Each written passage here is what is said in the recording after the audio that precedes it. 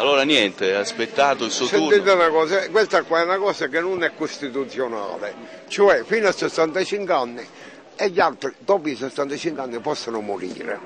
E tu dici?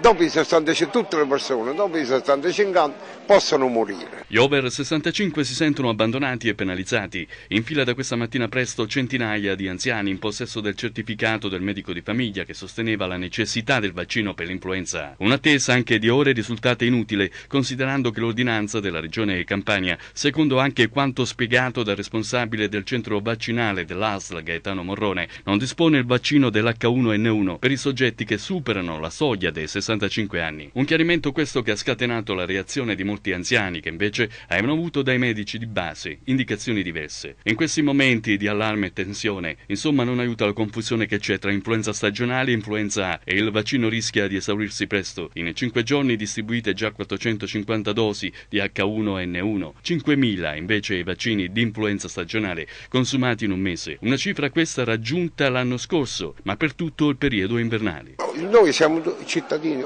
siamo tutti uguali, capito? Ma ieri la televisione ha detto che un uomo di 75 anni è morto, ha sentito la televisione. E allora? Ah, Ma aspetta prima che moriva e dopo ci vengono a fare la puntura. Per me mi hanno fatto aspettare e poi non hanno fatto, perché questo mio marito, 65 anni non lo, non lo- mio non lo marito tiene 85 anni, Tanto- perché non ci hanno fatto? Era obbligatorio, perché non lo fa? Ma il suo medico, quello di famiglia, cosa aveva detto? ha consigliato di farlo, eh. sono venuti qui e invece non l'hanno rilasciato. Io ho 66 anni e quando è lunedì me la vengo a fare. Il problema è uno, che hanno fatto una prescrizione per H1N1 per le patologie, però stamattina qua mi dicevano che le persone che hanno al di sopra dei 65 anni non possono essere vaccinate, quindi stiamo aspettando il, il responsabile che arriva per avere delle notizie più certe.